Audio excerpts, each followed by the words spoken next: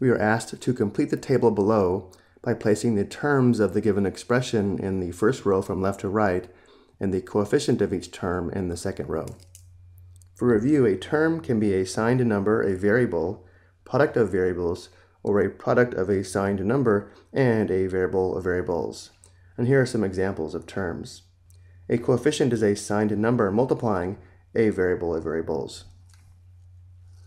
To help us identify the terms and coefficients, let's rewrite the subtraction as addition and also change the form of some of these terms.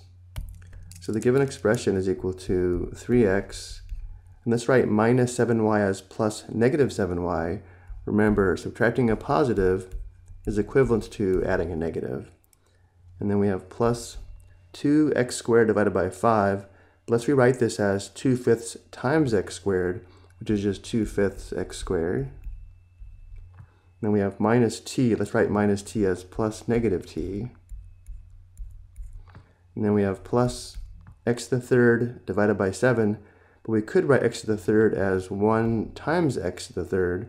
Once we recognize this, we can write this term as 1 seventh times x cubed, or just 1 seventh x cubed. So multiplying by 1 seventh is equivalent to dividing by 7. Having the expression in this form makes it much easier to identify the terms and the coefficients. Where the first term is 3x, the second term is negative 7y.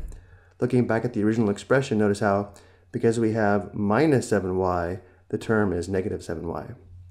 The third term is 2 fifths x squared, which we could also enter as 2x squared divided by 5.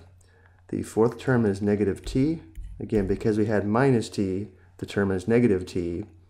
And the last term is 1 seventh x cubed, which we could enter as x to the third divided by 7.